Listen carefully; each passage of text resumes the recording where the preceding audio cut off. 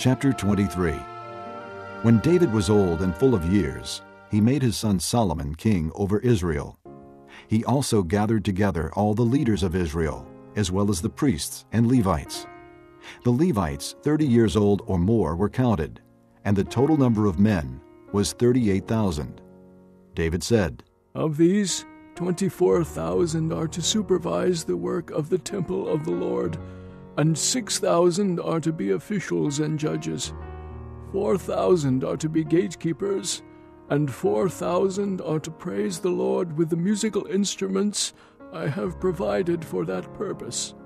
David divided the Levites into groups corresponding to the sons of Levi Gershon, Kohath, and Merari.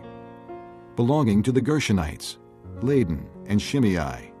The sons of Ladan, Jehiel the first, Zetham and Joel, three in all.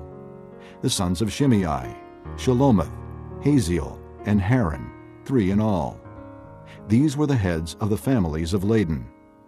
And the sons of Shimei, Jahath, Ziza, Jeush, and Beriah. These were the sons of Shimei, four in all. Jahath was the first, and Ziza the second, but Jeush and Beriah did not have many sons, so they were counted as one family with one assignment. The sons of Kohath, Amram, Izhar, Hebron, and Uzziel, four in all. The sons of Amram, Aaron and Moses. Aaron was set apart, he and his descendants forever, to consecrate the most holy things, to offer sacrifices before the Lord, to minister before him, and to pronounce blessings in his name forever. The sons of Moses, the man of God, were counted as part of the tribe of Levi. The sons of Moses, Gershom and Eleazar. The descendants of Gershom, Shubael was the first. The descendants of Eleazar, Rehabiah was the first. Eleazar had no other sons, but the sons of Rehabiah were very numerous. The sons of Izhar, Shelomith was the first. The sons of Hebron, Jeriah the first, Amariah the second, Jahaziel the third, and Jekameam the fourth. The sons of Uzziel, Micah the first, and Ashiah the second. The sons of Merari, Mahli, and Mushi. The sons of Mahli, Eleazar and Kish. Eleazar died without having sons. He had only daughters. Their cousins, the sons of Kish, married them.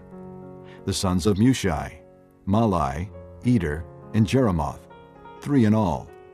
These were the descendants of Levi by their families, the heads of families as they were registered under their names and counted individually, that is, the workers 20 years old or more who served in the temple of the Lord.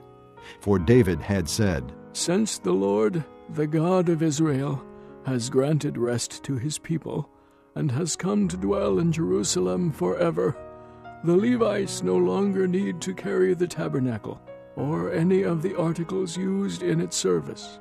According to the last instructions of David, the Levites were counted from those 20 years old or more.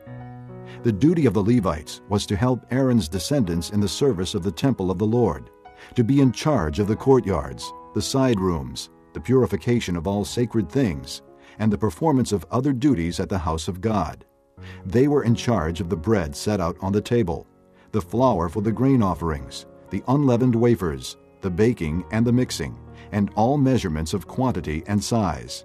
They were also to stand every morning to thank and praise the Lord. They were to do the same in the evening, and whenever burnt offerings were presented to the Lord on Sabbaths, and at new moon festivals and at appointed feasts. They were to serve before the Lord regularly in the proper number and in the way prescribed for them.